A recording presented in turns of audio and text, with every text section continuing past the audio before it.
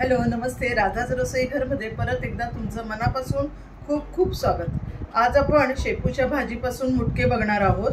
अतिशय टेस्टी असं लागणारे हे मुटके ज्यांना शेपूची भाजी आवडत नाही ते सुद्धा आवडीने खातील. बरेचदा असं होतं की शेपूची भाजी ज्यांना आवडत नाही ते ट्राय करत नाहीत. पण या पद्धतीने जर तुम्ही करून पाहिलं तर खूप खूप तुम्हाला आवडेल.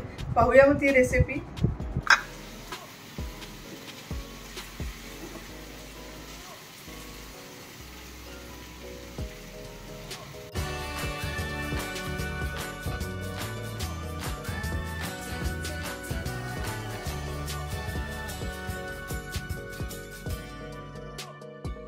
आपण रेसिपीला सुरुवात करूया. शेपूची जुडी घेतलेली आहे. ती आता व्यवस्थित निवडून घेऊया. आतमध्ये माती वगैरे नाही ना ते पाहून. हे फक्त समोरचे असे हे काढून घ्यायचे. देठ बाजूला काढून घ्यायचं.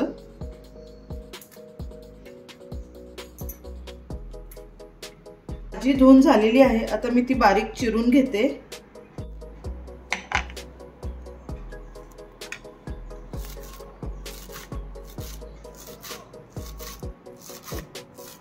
भाजी छान चिरून झालेली आहे. आता मी मिरची चिरून घेते. कापून घेऊन मोठे मोठे अशा मिरच्या चिरायच्या म्हणजे बारीक असतील तर अशा तोंडामध्ये येऊन तिखट नाही लागणार एकदम. त्यानंतर मी कांदा चिरून घेते.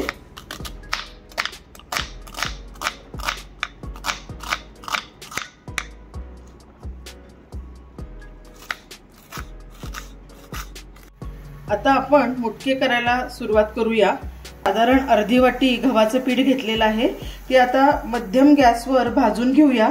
आणि त्याच्यामध्ये थोडेसे दोन तीन चमचे जर तुमच्याकडे भाजणी असेल थालपिठाची भाजणी असेल तर ती सुद्धा त्याच्यामध्ये टाका. त्यांनी छान चव येते. असतानाच थोडस अर्धा चमचा तेल टाकूया. म्हणजे काय होईल ती खमंग छान भाजली जाईल.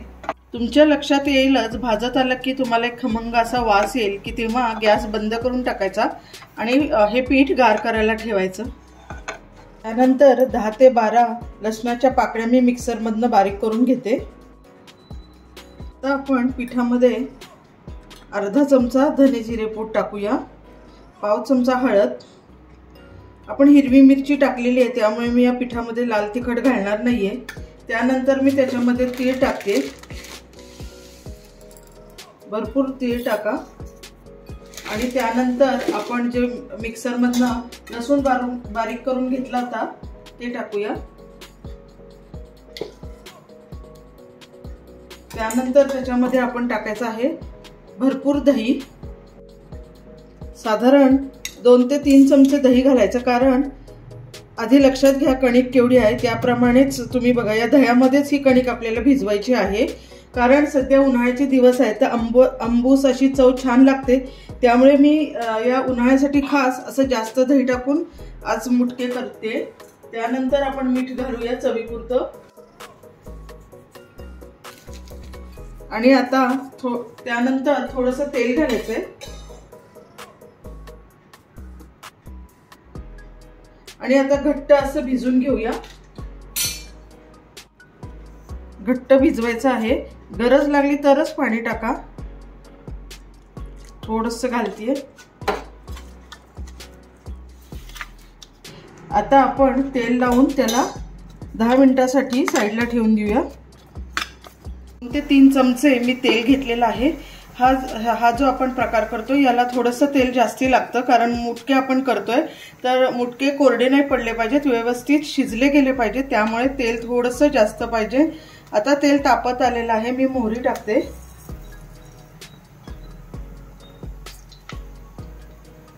कडतडती आहे आता आपण लसूण टाकूया. खमंग असं लसूण परतून घेऊया. तर फोडणीत आपण मिरच्या टाकूया. त्यानंतर कांदा टाकूया. छान परतून घ्यायचा आहे कांदा सुद्धा.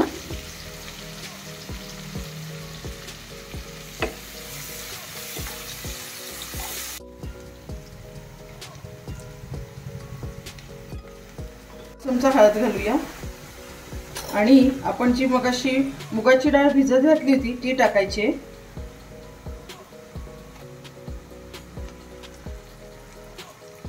ही सुद्धा या कांद्याबरोबर छान परतून घ्यायची.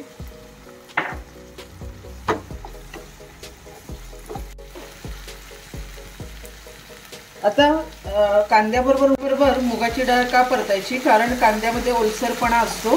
त्या ओल्यापणामध्येच ती छानपैकी परतून घेत होते आणि जवळजवळ अर्धी शिजत येते त्याच्याबरोबरच. आता त्यानंतर आपण शेपूची भाजी टाकूया.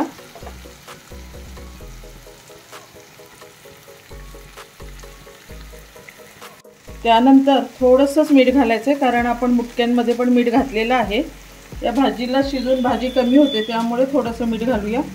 ती छान शिजली जावी म्हणून साधारण दोन चमचे मी पाणी टाकते. म्हणजे छान वाफ येईल भाजीला. पाच मिनटासाठी मीडियम गॅसवर झाकून ठेवूया. आता भाजीला वाफ येते तोपर्यंत आपण मुटके करून घेऊया. साधारण दहा मिनटापर्यंत हे कणिक आपली भिजून झालेली आहे. आता काय करायचं? छोटे छोटे गोळे घ्यायचे आणि हाताने असं मुटके करायचे. म्हणून याला मुटके म्हणतात. हे पहा असं. कमी जास्त आकार तुम्ही देऊ शकता. शक्यतो खूप जाडे नका करू नाही तर मग वाफ यायला त्याला त्रास होतो. कच्चे राहतात मग ते. इंटरेस्टिंग दिसण्यासाठी किंवा लागण्यासाठी किंवा छान मुलांना आवडण्यासाठी सुद्धा वेगवेगळे आकार तुम्ही देऊ शकता. असे पुरीसारखे करू शकता छोटे बॉल करू शकता. हे तुमच्या आवडीचे तुम्ही आकार लेटरसुद्धा बनवू शकता मुलांना खाण्यासाठी. आता अर्धवट आपली ही भाजी शिजून झालेली आहे. आता या स्टेजला आपण मुटके ठेवूया.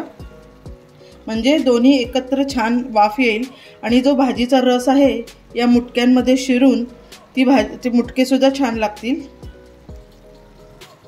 टाकून झालेले आहेत. आता मी याला वाफ आणायला परत पाच मिनिटासाठी झाकून ठेवते. खूप या भाजीला हलवायचं नाही नाहीतर ते तुटू शकतात. पहिला छानपैकी वाफून घ्यायचं आणि मग भाजी हलवायची. पाहूया आपण. दहा मिनिट झालेले आहेत. हे पहा खूप छान वाफले गेलेले आहेत आपले मुटके. आता हलक्या हाताने वर खाली करून घेऊया.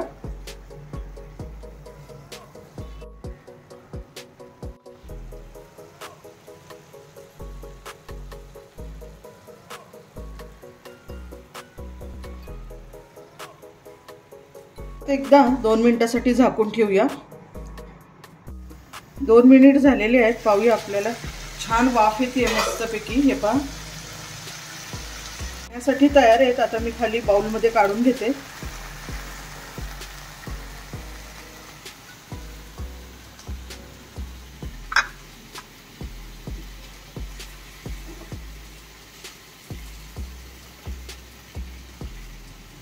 मला माहितीच आहे शेपूच्या भाजीमध्ये भरपूर आयन असतं. एकदम खायला आणि तब्येतीला चांगली ही भाजी आहे. आपली आता मुटक्याची रेसिपी करून तयार आहे. मुटके तयार झालेले आहेत. खूप टेम्पटिंग दिसत आहेत तुम्ही पण करून बघा. आता गरमागरम मुटक्यांवर साजूक तूप टाकायचं आणि मस्त एन्जॉय करा. मस्त लागतं साजूक तूप. चवीला छान लागणारे मुटके आपले तयार आहेत शेपूच्या भाजीतले. वेगळा प्रकार आहे कारण शेपूची भाजी बरेचदा खूप जणांना आवडत नाही. पण या पद्धतीने करून पाहिली तर वन मिल डिश आहे. जरूर जरूर करून बघा. तुम्हाला काही इनोव्हेशन करायचं असेल तर मला सांगा. मी तुमच्या कमेंटची वाट बघते. आणि राधा रसोई घर हे माझं चॅनल नक्की नक्की सबस्क्राईब करा. लाईक करा शेअर करा. थँक्यू